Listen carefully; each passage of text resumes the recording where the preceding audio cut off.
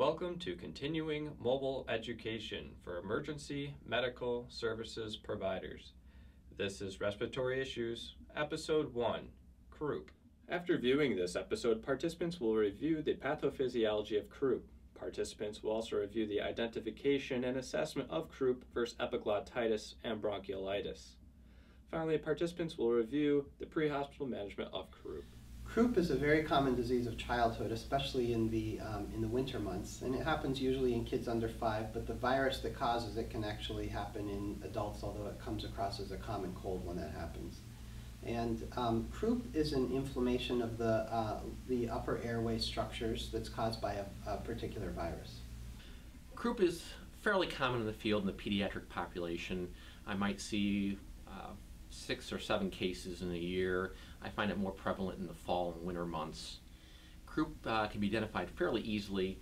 You find a patient who has a barking, like seal-like cough. Uh, it's more prevalent at night. Uh, they can be stridulous or having stridorous respirations, uh, increased work of breathing. It's usually, you know, it's the phone call at nighttime and the, the kid is, has a barky cough and some parents will bring them outside and they get better and um, usually the parents will say that the child's had an upper respiratory infection for a couple of days. Um, the inflammation that is caused by the virus that causes croup um, causes um, a stridor and um, difficulty breathing in the pediatric population. Uh, often there's a um, barking cough associated and also a fever. Croup is a common disease caused by a virus. Croup is most common in children under the age of 5, although anyone can have the virus. Croup causes inflammation of the upper respiratory tract, specifically the voice box. Inflammation causes labored respiration, stridor, a barky cough, and or fever. Croup is most prevalent in the fall and winter and can be exacerbated at night. Croup and epiglottitis are two very different disease processes. Croup is a um, very common uh, viral illness that um, occurs more often in childhood currently. However, uh, epiglottitis is caused by a bacteria that there's a good immunization against, so we rarely see it uh, currently anymore. And epiglottitis is an inflammation of the epiglottis, which can lead to airway obstruction. Whereas, although croup does have some inflammation of the upper airway structures, it very rarely, if ever, leads to full airway obstruction. Croup versus epiglottitis. Epiglottitis is life-threatening. So if an EMS provider sees a child squatting and drooling, that is that is life-threatening and could potentially need to be intubated. Um, their epiglottis, their airway is, is swollen, where the croup, it's the voice, the voice box that is um, swollen. So epiglottitis is truly an emergency.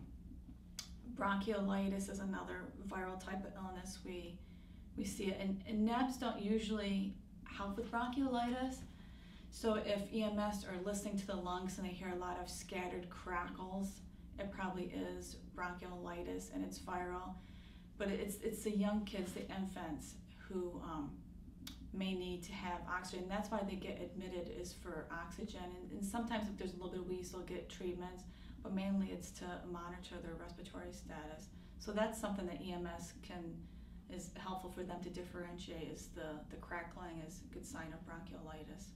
This chart represents the major differences between epiglottitis, croup, and bronchiolitis.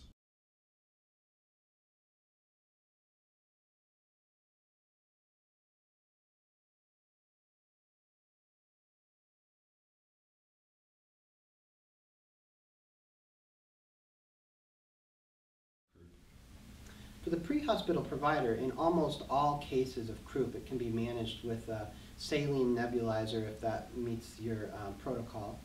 Um, however, in severe cases where there's severe stridor at rest, then it's managed with an epinephrine nebulizer. Uh, some cases of croup where there's just a barking cough or there's only stridor when the child becomes agitated, uh, those cases do not require an epinephrine nebulizer. There is also, uh, one of the mainstay treatments of croup also involves the use of steroids. In some uh, EMS regions, steroids are given pre-hospital. The, the typical steroid that is given is Decadron, although other steroids can be used. You don't always have to treat croup. If the child has a mild barky cough but is not in any respiratory distress, it is viral, it should go away.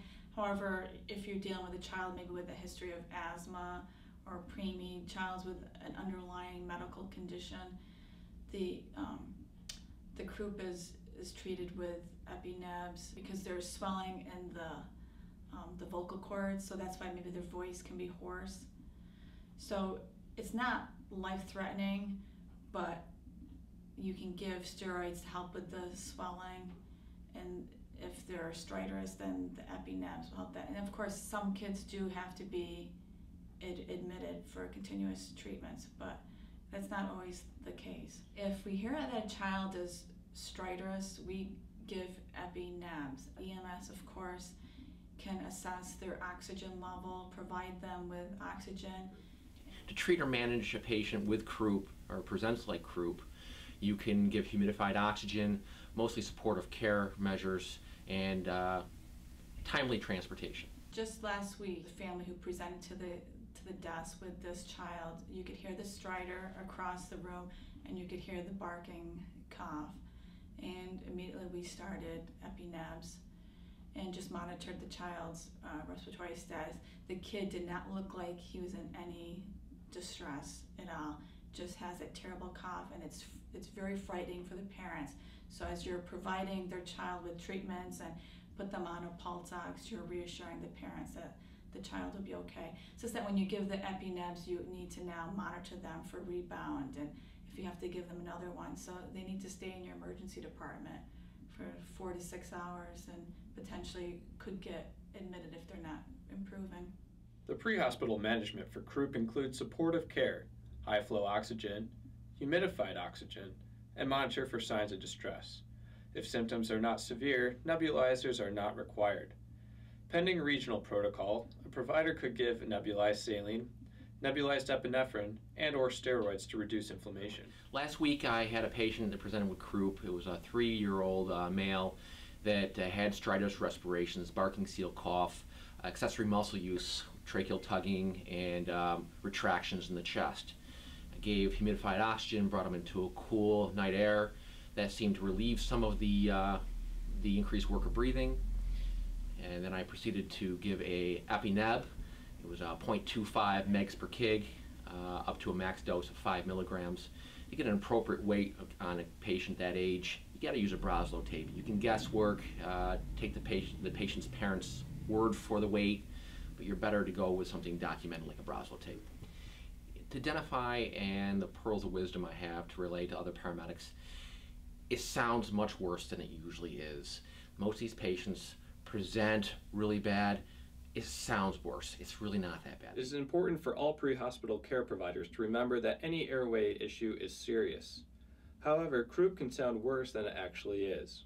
It is important for EMS providers to remain calm. After viewing this episode, participants will review the pathophysiology of croup, Participants will also review the identification and assessment of croup versus epiglottitis and bronchiolitis. Finally, participants will review the pre-hospital management of croup.